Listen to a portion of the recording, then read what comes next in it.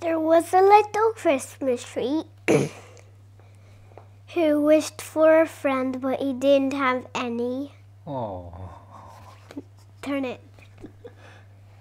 And it took, what's that number?